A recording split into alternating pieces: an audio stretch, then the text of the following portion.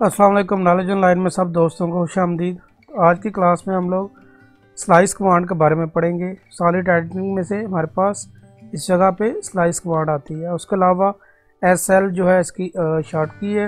वहाँ से भी हम लोग ले सकते हैं। चले स्लाइस कमांड। अंकल ये क्या करते हैं? यहाँ से पहले कुछ बॉक्स ड्रा कर लेते हैं।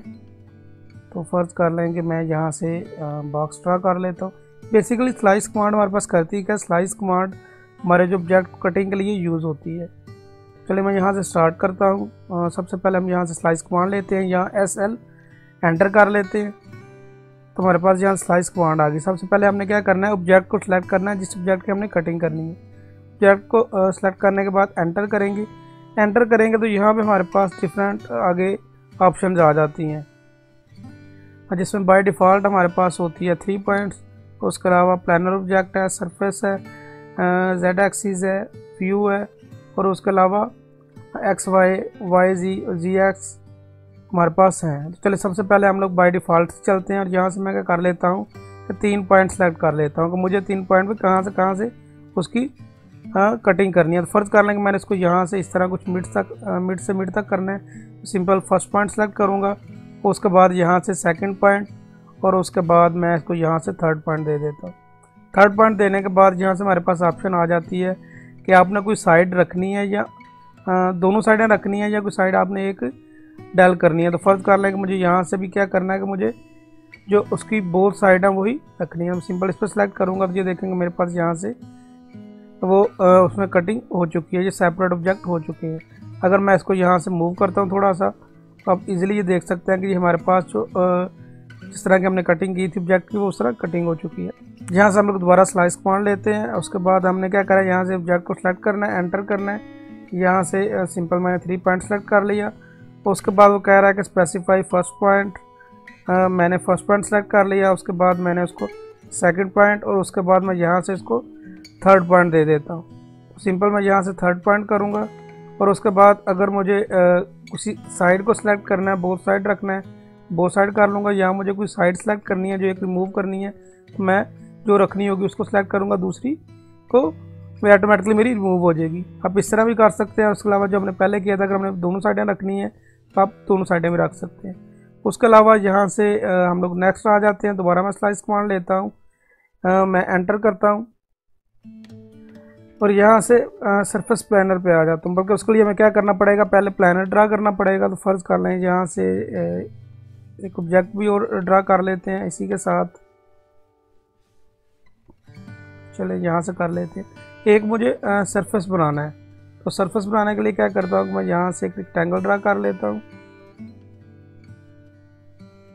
और रेक्टेंगल को रीजन में कन्वर्ट कर लेता हूँ। आर ई जो हमारे पास है शार्ट की होगी रीजन सेलेक्ट ऑब्जेक्ट एंटर कर देंगे। ये हमारे पास रीजन आ जाएगा। ठीक है जी? अब यहाँ से मैं इसको रीजन को मूव कर लेता हूँ। यहाँ से मैं इसको इसके सेंटर में रखता हूँ। यहाँ से ये प्रॉपर मूव नहीं हो रहा था इस थोड़ी देर के लिए अपने ये जो पॉइंट्स हैं ऑब्जेक्ट स्नैप है, इनको ऑफ़ कर लेते हैं। यहाँ से मैं थोड़ा सा इसको ऊपर की तरफ़ उठा देता हूँ। यहाँ से हम लोग इसको इस तरफ़ ले जाते हैं। यहाँ से सरफेस को मुझे बाहर की तरफ़ निकालना होगा। चारों तरफ़ से मेरे पास सरफेस बाहर निकला हुआ है। मैं उसको चेक भी कर सकता हूँ। मैं यहाँ से इसको रोटेट करता हूँ। इस तरफ़ से सरफेस नहीं है तो मैं इस तरफ़ से उसको तो सरफेस को बाहर निकाल लेता हूँ। चले मैं इसको यहाँ पे रख देता हूँ आई थिंक अब हमारे पास हर तरफ़ से सरफेस को है वो। आ चुका है, ठीक है जी। तो यहाँ से मेरे पास सरफेस आ चुका है, मैं दोबारा स्लाइस कमांड कर लेता हूँ।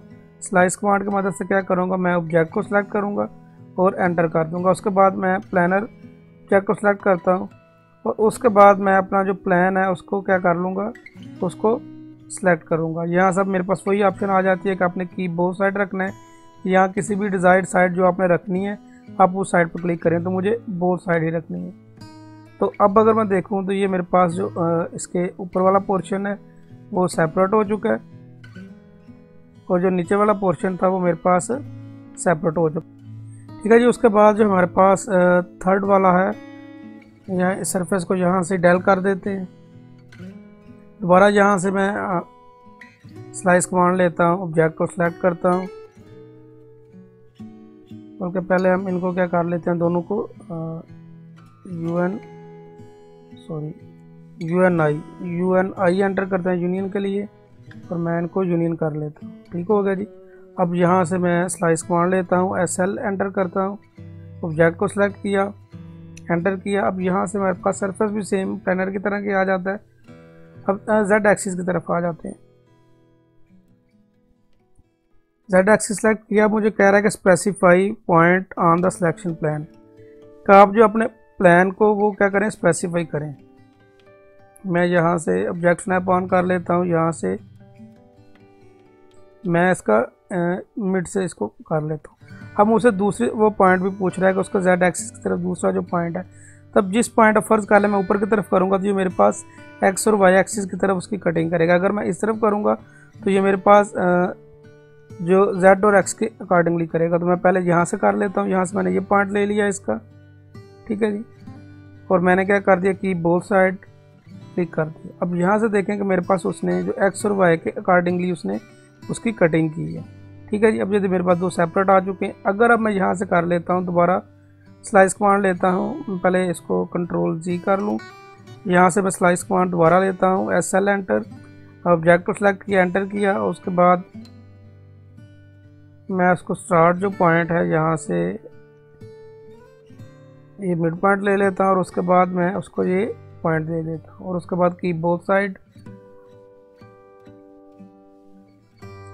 की बोथ साइड मैंने कर लिया, उसने, उसके अकॉर्डिंगली कर लिया नेक्स्ट आ जाता है, यहाँ से स्लाइड स्लाइस कमांड लेते हैं सेलेक्ट ऑब्जेक्ट किया एंटर किया और यहाँ से हमारे पास आ जाता है, हमारे पास व्यूज़ और मैं व्यू की बात करूँ तो सबसे पहले मुझसे पूछ रहा है कि आप उसको पॉइंट दे दें।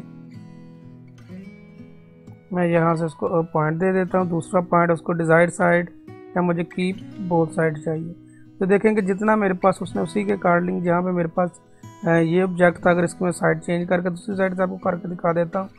जितना हम एक तरफ़ उसको सेलेक्ट करेंगे, उतना ही हमारे पास ये दूसरी तरफ़ आएगा। तो अगर मैं इस साइड पर आ जाता हूँ, यहाँ से मैं स्लाइस कमांड लेता हूँ। स्लाइस कमांड मैंने ऑब्जेक्ट सेलेक्ट किया, उसके बाद एंटर किया, यहाँ से मैं व्यू सेलेक्ट करता हूँ और इसको मैं कोई पॉइंट दे देता हूँ। इसको मैं क्या कर देता हूँ? कोई पॉइंट दे देता हूँ। फ़र्ज़ कर लें कि मैं यहाँ मिड तक पॉइंट देता हूँ। और यहाँ से मैं की बोथ साइड रखता हूँ। देखें, उसी ने सेम उसी के अकॉर्डिंगली उसके बोथ साइड के ऊपर उसकी कटिंग कर दी। ठीक है जी? अगर यही अब दोबारा मैं यहाँ से कमांड लेता हूँ, मैं ऑब्जेक्ट को सिलेक्ट करता हूँ और एंटर कर देता हूँ। दोबारा से मैं व्यू पर जाता हूँ और मैं इस जगह से यहाँ से इसके, इस पॉइंट पर ले लेता हूँ और डिज़ाइन बोथ साइड कर देता हूँ। जैसे कि उसने उसी के अकॉर्डिंगली साइज़ जो था वो उसने डिफाइन कर लिया हुड से ठीक है जी? तो इस तरह हम इसकी मदद से कर सकते हैं। अगर दोबारा मैं यहाँ से एक शेप भी और बना लेता हूँ। यहाँ से हम आइसोमेट्रिक में अगेन चले जाते हैं। अब इस ऑब्जेक्ट को मैंने इसको सेलेक्ट करता हूँ स्लाइस की मदद से लास्ट हमारे पास आ जाता है एक्स और वाई तो एक्स और वाई के अकॉर्डिंग करना है, तभी सिंपल आपने एक पॉइंट देना है, उसको को पॉइंट के बाद आप ऑटोमेटिकली क्या कर लेगा एक्स और वाई को उससे कंसिडर कर लेगा। तो फ़र्ज़ कर ले मैंने ये पॉइंट दे दिया अब की बोथ साइड तो ये एक बड़ी इजी सा तरीका है, अगर आप इसके साथ यूज़ करें, देखें, आपकी दोनों साइड है, उसकी कटिंग हो चुकी है। इसी तरह नेक्स्ट जो है हमारे पास ऑब्जेक्ट को सेलेक्ट करता हूँ, मैं एंटर करता हूँ हमारे पास वाई और जी है। और यहाँ से मैं वाई और जी करता हूँ। वाई और जी की तरफ़ से कटिंग होनी है। तो वाई और जी की देखेंगे ना, ये जी कटिंग इस तरफ़ होनी है। अगर यहाँ पे पॉइंट लेंगे तो इस तरफ़ हमारे पास कुछ है ही नहीं। अगर मैं इस पॉइंट से इसको सेलेक्ट करता हूँ तो मेरे पास वो जो वाई और जी की है, इस तरफ़ और नीचे की तरफ़ होगी कटिंग तो इस पॉइंट से मेरे पास उसकी कटिंग हो जाएगी। और जहाँ से मैं की बोथ साइड करता हूँ तो देखेंगे मेरे पास यहाँ से उसकी कटिंग हो चुकी है। इसी तरह अगर मैं दोबारा यहाँ से लेता हूँ जो लास्ट ऑप्शन है हमारे पास सेलेक्ट ऑब्जेक्ट और यहाँ से जेड एक्स वाली।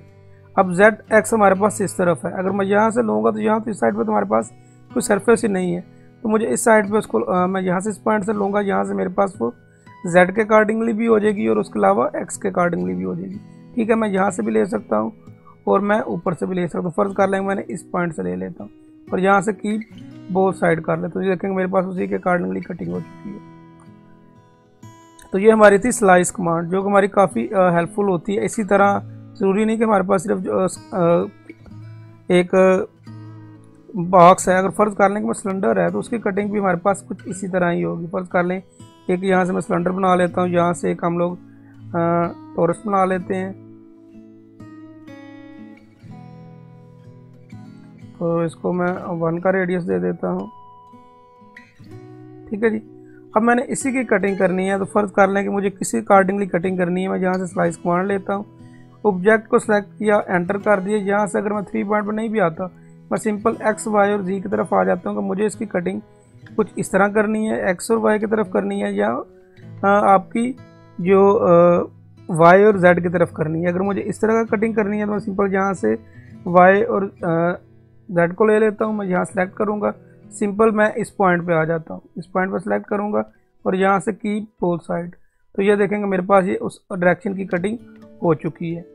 इसी तरह अगर मुझे दूसरी तरफ़ से भी कटिंग करनी है, मैं दोबारा यहाँ से स्लाइस कमांड लेता हूँ ऑब्जेक्ट को सिलेक्ट करता हूँ और मैं एंटर कर देता हूँ। और यहाँ से मैं कर लेता हूँ एक्स और वाई की तरफ़। सॉरी एक्स और वाई सिंपल सरफेस होगा, नहीं होगी। मुझे जेड और एक्स की तरफ़ करनी पड़ेगी। तो यहाँ से मैं सिंपल उसी तरह आ जाता हूँ उसके मिड पॉइंट पे। मैं यहाँ से पॉइंट ले लेता हूँ की बोथ साइड ये देखेंगे मेरे पास ये चार हिस्सों में डिवाइड हो चुकी है। तो इस तरह हम लोग अपने ऑब्जेक्ट को डिवाइड कर सकते हैं। उसके बाद सेम अगर इस जगह पे आ जाएँ तो यहाँ से स्लाइड स्लाइस कमांड लें। स्लाइस कमांड लेने के बाद ऑब्जेक्ट को सिलेक्ट करें। अब आप अगर आपने प्लानर के थ्रू बनानी है सरफेस के थ्रू बनानी है तो आप सिंपल क्या कर सकते हैं? आ, उसके अकॉर्डिंगली वो सरफेस बना के तो उसको कर सकते हैं। जेड एक्सिस के थ्रू करनी है तो वहाँ से कर सकते हैं। व्यू को आपने थ्रू करनी है तो आप सिंपल उसको व्यू के थ्रू भी कर सकते हैं। लेकिन यहाँ से जो सिंपल अगर आपने कटिंग करनी है तो हमारे पास X Y Y Z Z X ये यूज़ होते हैं। सेलेक्ट किया ऑब्जेक्ट को और उसके बाद मैं वाई और जी की करता हूँ। ठीक है जी? वाई और जी की करने के बाद वाई हमारे पास इस सरफेस पे है तो यहाँ से मैं इसको ये पॉइंट देता हूँ और यहाँ से की साइड पर कर देता। तो ये देखें कि हमारे पास कटिंग हो चुकी है। इसी तरह आपने उसकी, मैं दोबारा यहाँ से सिर्फ़ लेता हूँ स्लाइस कमांड को। ऑब्जेक्ट को सिलेक्ट करता हूँ, दोनों को सिलेक्ट कर लेता हूँ एंटर करता हूँ और यहाँ से जेड और एक्स कर लेता हूँ। और उसके बाद मैं उसको सेम ये पॉइंट दे देता हूँ और यहाँ से की बोथ साइड तो ये देखेंगे कि मेरे पास पार्ट्स में डिवाइड हो चुकी है। अब इन पार्ट्स को अगर आपने सेपरेट करना है तो सिंपल आप यहाँ से उसको उनको सेपरेट कर सकते हैं।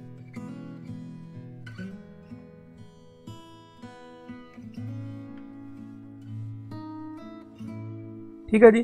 तो ये हमारे पास एक स्लाइस कमांड थी। बड़ी इजी कमांड है, लेकिन बड़ी यूज़फुल कमांड हमारे लिए होती है। अक्सर हमें कटिंग वगैरह करनी पड़ती है। तो आप लोग भी इसकी प्रैक्टिस कीजिएगा। अगर आपको वीडियो अच्छी लगी है तो चैनल को सब्सक्राइब और वीडियो को लाइक लाजमी कर दीजिएगा। आज के लिए इतना ही। अल्लाह हाफिज़।